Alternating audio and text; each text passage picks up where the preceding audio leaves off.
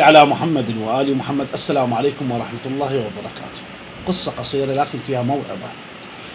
يقول يوم من الأيام يقول تاجر يقول هذا التاجر يقول يجلب العسل لأحد القرى المطلة على البحر. فيقول تلزم الناس سرة وكل واحد ياخذ حصته من هاي الصدقة.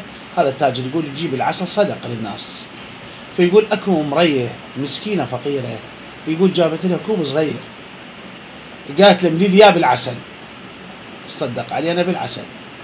قال لها لا أنا ما راح اعطيك ترستك هذا الكوب ما أملك شيء هذا الكوب عمر واحد من العمال مالته قال له تودي البرميل وتوصل البيت هاي الفقيرة. يقول أحد الناس قال له قال له يا حضرة التاجر طلبتك كوب وطيتها برميل. وإحنا من الصبح اللي جاي ما جاي تعطينا قال لي أنا هاي المرية طلبت حسب حاجتها وأنا اعطيتها حسب حاجتي. فالحكمة فيها الله سبحانه وتعالى إحنا إذا نريد من عنده شيء حسب مقدرتنا.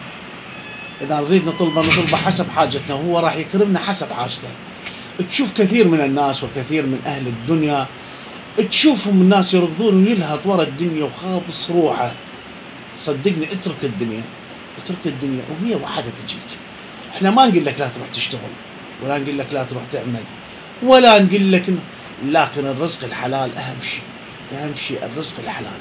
اصبح الصبح برزقك بالحلال وامس نسيتك أيضا بالرزق الحلال. وهذه الله سبحانه وتعالى إلك فيها موعظة وإلك فيها حكمة وأيام الدنيا أيام معدودة وخلصانة. ما تسوى. فلا تدنس روحك ولا تلوث روحك بالحرام. لا تنسونا بأفضل الدعاء. والسلام عليكم ورحمة الله وبركاته.